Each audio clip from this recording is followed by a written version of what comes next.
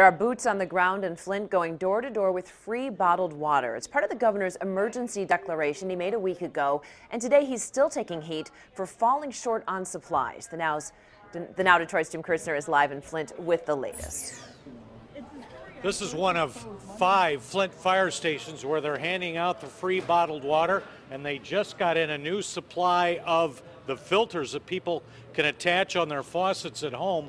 But take a look at the demand. This has been a crazy place all afternoon, and they are still out of the lead testing kits that people can use at home. And take a look at the boots on the ground out in the neighborhoods. This is the picture they want you to see now since the state emergency declaration. Some of these volunteers are from Detroit. You're going to meet one of those in just a moment.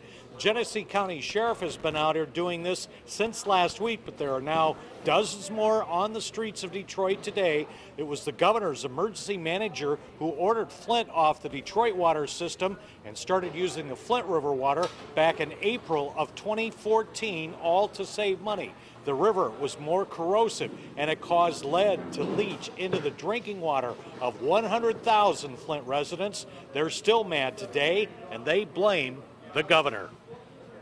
So are you telling me you drank this for over a year? hmm Now what do you make of that? Um, well, I'm 62 and I hope to make it to 63.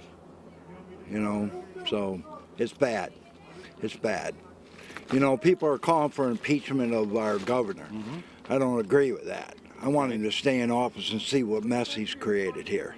I want him to see the people he's hurt. We have a lot of members in the Flint area. We have a large um, population of our membership here, so it's important to us. It's, we and as the UAW, we are a social group, and we like to give back when we can. Now, as we speak, they got just another supply of bottled water, and I can tell you, everywhere the governor goes, he's continually asked about that and this, including this morning at the Detroit Auto Show. We asked difficult questions. Um, we got answers that weren't correct. Is and this so your now we legacy? found out. No, Is this, this isn't my legacy. This is part of my legacy. I am responsible for the entire state and our operations.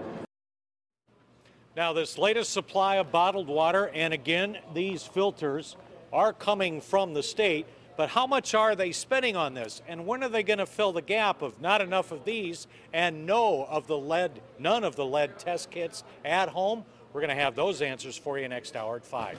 For now, I'm live in a hectic fire station in Flint.